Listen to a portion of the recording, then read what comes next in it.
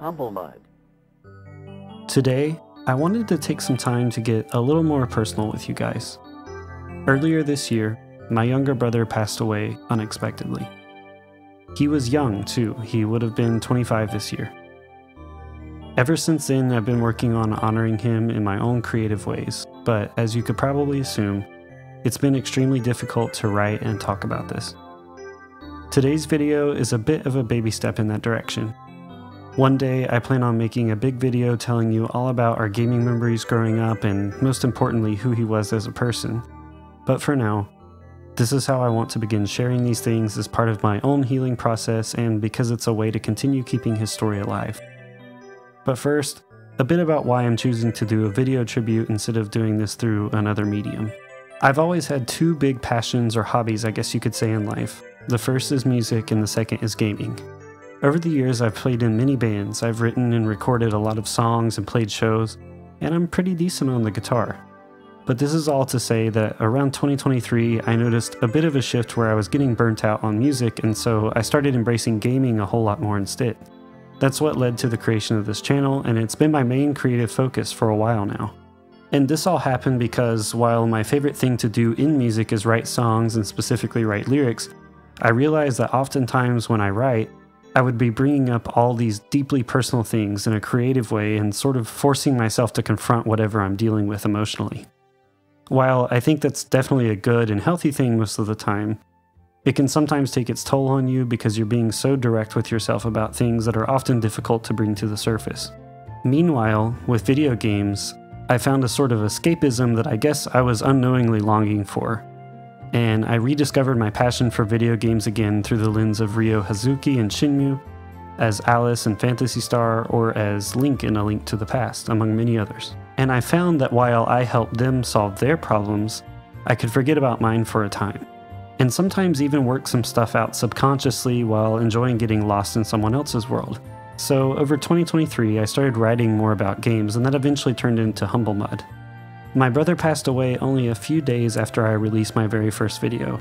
He gave me some awesome, focused, and supportive feedback in private the day my video released, nothing short of what I would have expected from him. And I felt like he was proud of me and he was proud of that video. While it would have been easy and understandable to drop everything after his passing because it was just all too much, I thankfully already had my Excite Truck video done and scheduled at that time, and I made a vow to myself that I'd continue going with this. Creating music can be a release for sure, but at the time everything was too raw for that. However, over time I've learned that having something creative going on at all times is critical for my mental health. And I also feel as if I'm living for both of us now, not just myself anymore, so I need to continue on as best as I can. And thankfully, as time passed, I found that Humble Mud was helping me. I enjoy the process of making videos, of researching games, of lining the footage up just right between the cuts so it all looks smooth, getting the right song to complement whatever I'm talking about, and transitioning between songs from different games. And then, of course, playing the games themselves is such a treat. There are so many games I'm exposing myself to nowadays, it's easy to stay busy and to stay distracted. But another thing I learned over this year is that games can help you deal with big, real life problems in a healthy way too. Granblue Fantasy Relink was the first game I saw online after my brother's passing that made me feel anything, really. Nothing else was exciting at the time. While I was away with the family dealing with things, I had Granblue waiting for me when I got back to my PlayStation. I knew it was important to have something to look forward to. I couldn't just sit in my house filled with ennui and disinterest. Once I started playing the game myself for the first time, there was one character in particular that caught me off guard, and that's Rolan. I hadn't seen him yet in any of the footage that I watched beforehand, and he really got to me because he looks like my brother. Now, I'm not going to show any pictures of my brother right now, but when he was in high school, he had a really similar haircut to Rolan. He wore glasses, and he even bears a similar name, Devan. My brother also became quite the handyman in his 20s, and what do they call Rolan in this game? Mr. Fix It, because he can fix anything. So, as you can imagine, I grew a special fondness towards Rolan in particular, and so I saw his adventure through until the end. So, after that, in between some of the other videos that I was making, and as I felt comfortable, I started trying to find my brother in other games. The next one I really got into was Mother 3. Had it ever been officially released over here in the States, I'm sure this would have been named Earthbound 2, but this is essentially the game that Lucas from Super Smash Bros. comes from, if you're not familiar. When my brother was in middle school, he had his hair spiked up just like Lucas, and oddly enough, Lucas is one of the characters that he would often play as in Super Smash Bros. to compliment me. My main was Ness. He literally learned how to play Lucas so that we could be the Earthbound brothers together. Outside of this, though, I also gravitated towards this game because I know it's a game about loss. It's also a tale about two brothers, and coincidentally, I looked an awful lot like Lucas's older brother Claus when I was younger. My brother, the younger blonde boy, and me, the older redhead. Now, for those of you who know the ending of this game, you might be a little worried for me, but remember, my brother looked like Lucas, so my brother was the hero of the story. The ending of this game didn't bother me like it would have had things been the other way around. And so I saw the adventure through Mother 3 until the end as well. While playing this game, I watched Lucas grow up and deal with things. I watched him get stronger and more worldly. I watched him deal with very human problems just like my brother did in real life. I watched him take on new challenges, and I watched him learn how to do things that inspired people as he grew out of his shell, just like my brother did. And with both of these games, I realized that part of the reason they made me feel the things I did was because they allowed me to feel like my brother was there with me. Obviously, I know the difference between Rolan or Lucas and Devan, but seeing these two as my brother during my playthrough certainly made these adventures feel more special. There are other games I intend to try too as I get the courage or whenever the time feels right as well. Spiritfarer, for example, is one of those games that I know deals with grief specifically, and I'm sure will be something that proves helpful to me in the future. There are games from my past that I may revisit one day featuring characters who remind me of my brother. For example, Earthbound has Jeff, who for sure reminds me of Devan as well. And maybe I'll learn something else about myself or this game upon revisiting it with this lens.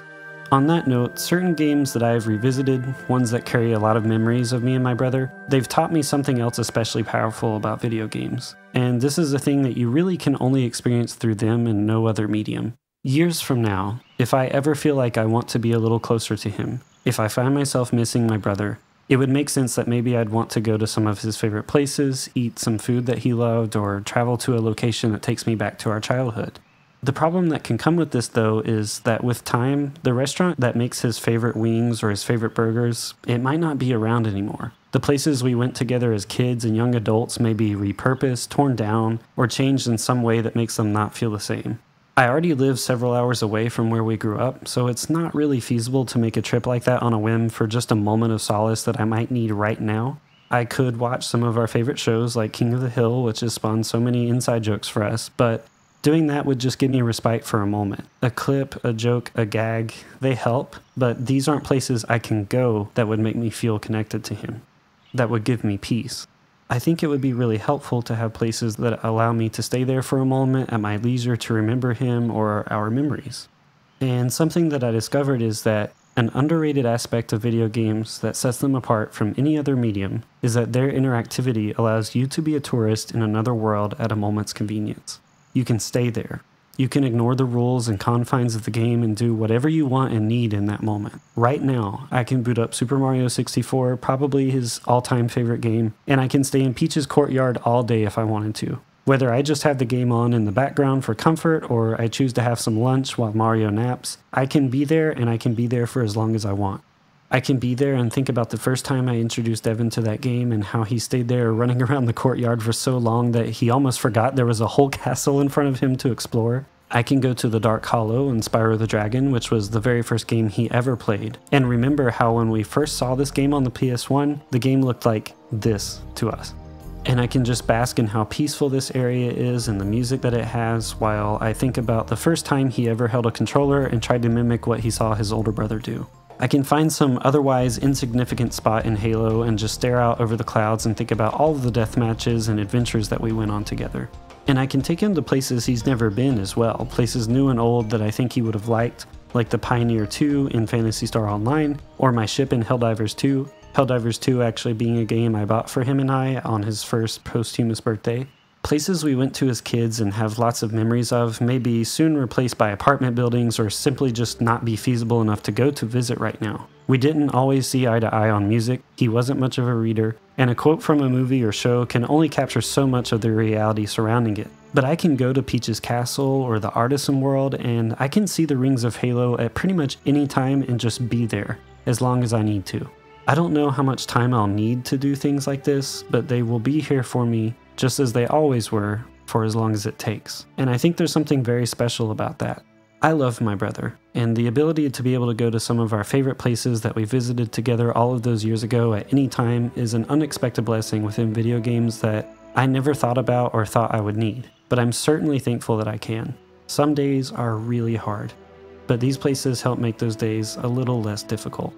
If you're still here, thanks so much for watching, and as always, stay humble.